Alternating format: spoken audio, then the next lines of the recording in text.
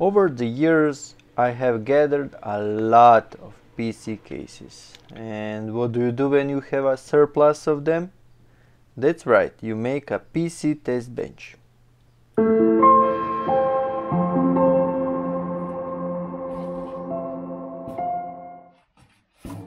Most of the cases are assembled with rivets, so I will drill them to get to the bottom tray of the case that holds the motherboard. I took four cases, two older and two slightly newer to choose which one I liked more. In the end, I choose a trace from the older cases.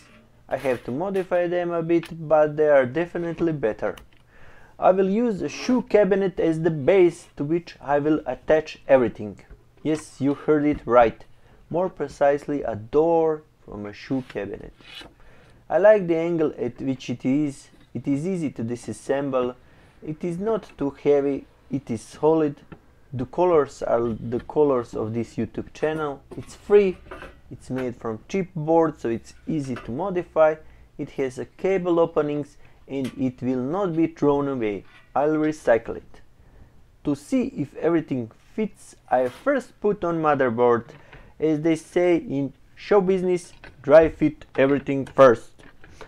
I was thinking of putting two motherboards to be a dual test bench, but since I have more doors and a couple of PC cases, I decided to make them smaller and to have two test benches but separate. I will store them more easily and I can put them on top of each other so they will not take up much space. The metal base for the motherboard is twisted and flimsy so I will have to attach it to chipboard but it's also too big. It's wider because the power supply from the computer was connected to it. And since the power supply will be under the board, I have a little excess that I cut down slowly and finally clean from sharp edges. Another good thing about older cases is they have holes on them for older and newer motherboards so brass spacers can be easily screwed on. After I modified the metal tray in terms of size and I have dimensions for the next part, it was time for modification of the shoe cabinet door. It was simple. Measure twice, mark and cut once. And since it is easy to disassemble, I transferred the measurements to all the parts. I sewed very slowly to make the cut as straight as possible. And in the end, when I test fit everything, everything looked okay. I have five doors, but in the end I didn't need them. I didn't cut anything wrong, so I left one for parts. If anything breaks, I can easily replace it. You have to love chipboard. It's such a cheap material. It can often uh, be found for free and it is easy to use for some projects. Next, I did drill the holes for side uh, that is cut and I put everything back.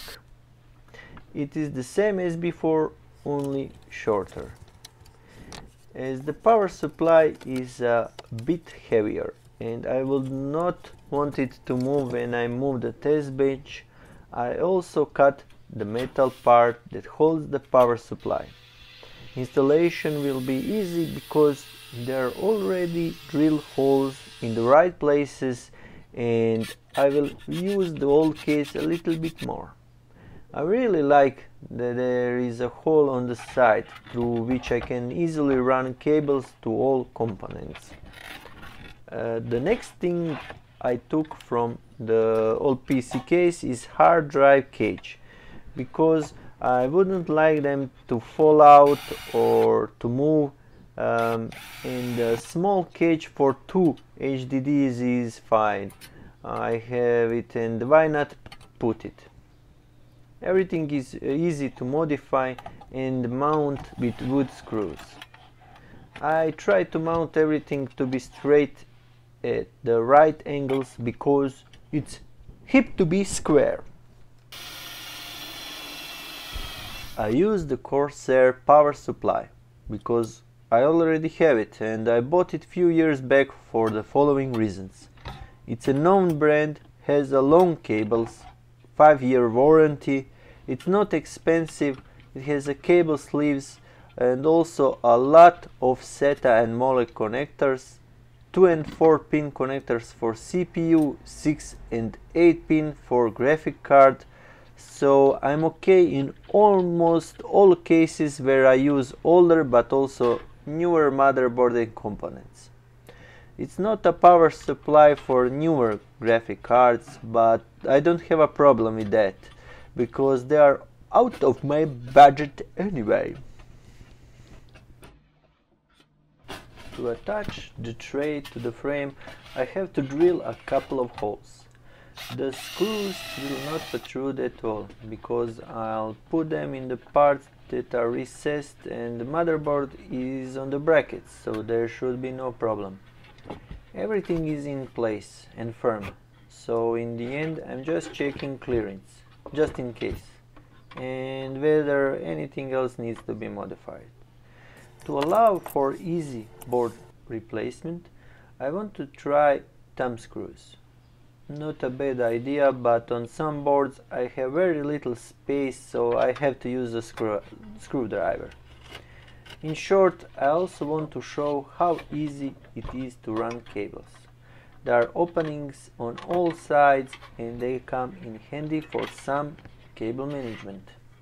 I was thinking of making a graphic card holder but due to the angle it is it at, and I only use them for a short time I see no reason to put them on if it turns out I need them I'll put a longer screw like some other test benches have in short they proved to be very useful and it's good that I have two of them. One I use to test older motherboards, older ATA hard drives, basically for older components while the other one I keep always assembled and I use it to test components. As you can see here I'm testing RX 470 graphics card that I bought from a miner and I was thinking of mounting a switch on the frame but basically the cables would be in the way so for now I won't touch anything except I plan to maybe drill a hole through the front so I have extra cable outlet if it proves necessary.